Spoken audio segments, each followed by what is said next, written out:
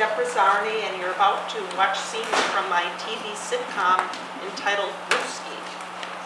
The term brewski, as you may know, refers to a beer, and this sitcom takes place in my hometown of Milwaukee. Brewski, the sitcom, is about a hapless middle-aged couple who hates having to adapt to all the changes of modern life. Otto Schimmel is an assembly line worker, and his wife Gladys is a coffee shop waitress. All they want is to live a quiet, peaceful, predictable life in their Milwaukee bungalow home, but life always gets in the way. In the pilot episode, Otto encounters numerous obstacles to hosting his friends to a Packers playoff game. No beer, no TV, and a blizzard. Prior to this scene, they solved the beer problem, but now the TV died because the antenna fell off the roof during the blizzard. so Otto and Gladys head out in the storm and have just arrived at a discount electronics store to buy a new TV. Now I'll let the actors introduce themselves and we'll get started. Joan Grove, I'm the narrator. Thomas F. Walsh, salesman. Jon Freda, Otto. Sharlene Hartman, Gladys. Seth Michael May, Mac. Neal Arluck, Joe. Interior, discount electronics store, evening. Otto and Gladys, bundled up in their snowsuit jackets, stand before a fast-talking salesman, 50s, in the TV department. Now, everybody wants high def. The new shows are being shot on. What's high def? Don't you know it's for people hard of hearing? A better sound quality. The old set was obsolete 20 years ago. Worked for us. Well, let me show you our crown jewel. It's on special tonight only. He walks to a huge screen, HD TV. Now, as you can see, it has an extra wide screen. Your friends would be the envy of you. Oh, that would be a change. How much? And we're offering a special deal when you get the dish. But we need it tonight. Just plug it in. But the dish gives you all the additional channels. You got boxing, football, even gardening for the ladies. I don't garden. I don't like newfangled contraptions. Don't know how to fix them. Is there a knitting channel? Sure thing, sure thing. There's, there's something for everybody on Dish TV. Well, how about that, that unit over there? He points to a wooden console off by itself in the corner. I'm sorry, that was a demo when the store first opened. It's slated for the thrift shop. Which set is the biggest bargain? Why, this one, of course. That's why I showed it to you first. Well, why don't we splurge, Otto? This could be our anniversary present Uh. to each other. She puts her arm around him. He's unmoved. Aren't we gonna miss the game, sweetie? Otto looks at his watch. How long does it uh, take to set up? Just plug it in. It's idiot proof. Exterior, street, moments later.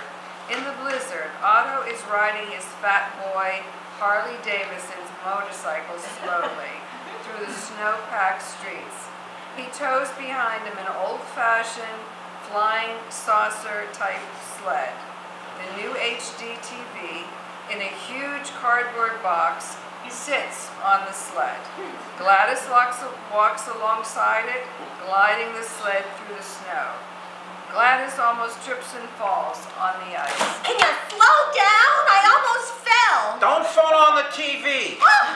Interior Schimmel living room later. The shiny new HD TV sits among cardboard rubble in the middle of the room. Gladys sits beside it on the cable rug, looking over the instructions. Otto is looking over the set. I think these instructions are only in Spanish and Japanese. Uh-huh. Keep looking.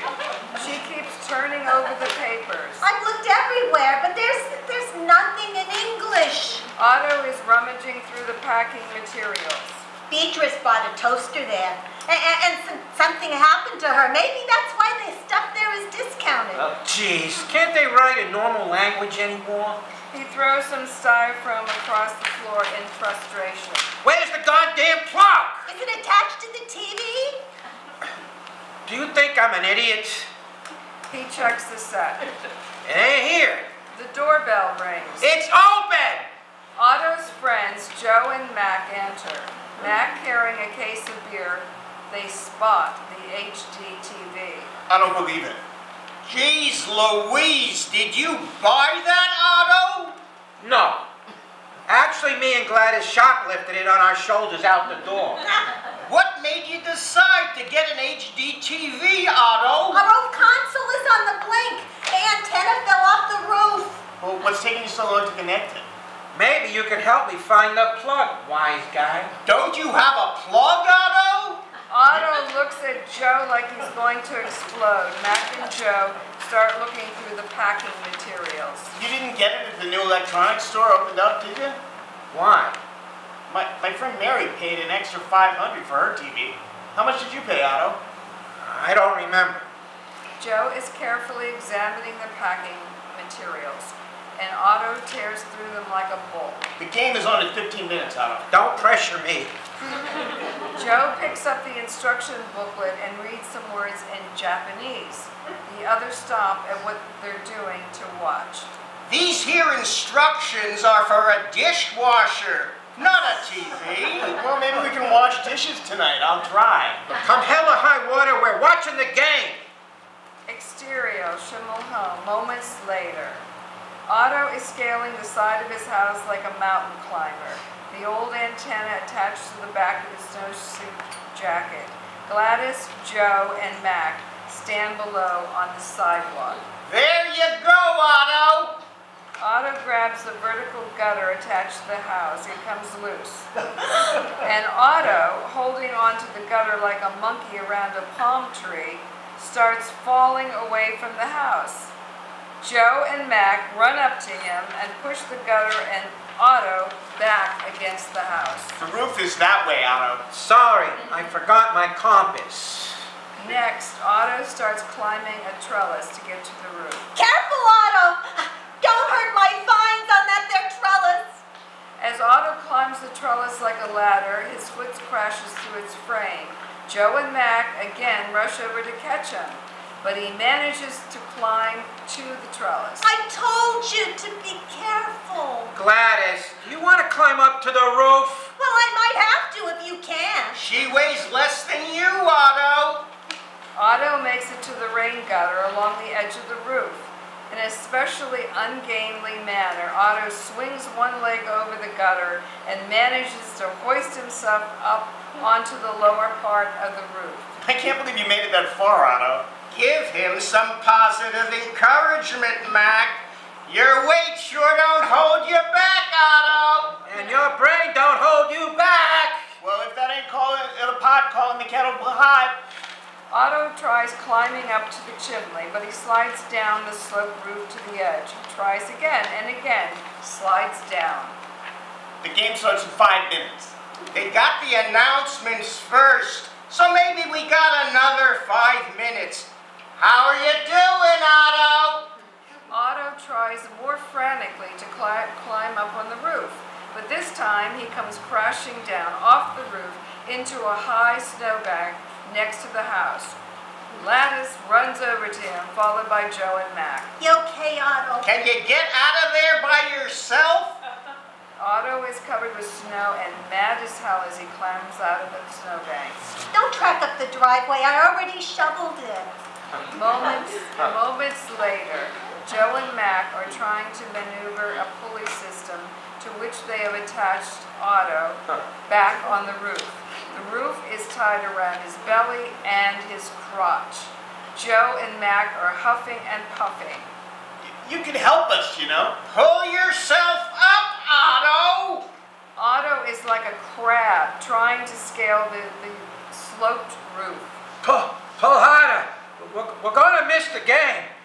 Together. One, two, three. Joe and Mac yank him hard. Otto grabs his crotch in shock. he recovers and scrambles over to the chimney. Gladys claps. You made it. Otto quickly grabs the antenna and reconnects wires. He positions the antenna. I'm coming down. Hold me. Lets himself drop. Wait! Not yet! Oh, Gladys oh. is horrified. God in Himmel. Joe and Mac lunge for the rope and manage to break Otto's quick descent. Otto is suspended in midair over the eave of the roof, resembling a spider hanging by a thread. He struggles helplessly, trying to loose the rope cutting into his crotch, as Joe and Mac try to maneuver him down. You, you pulling, Joe?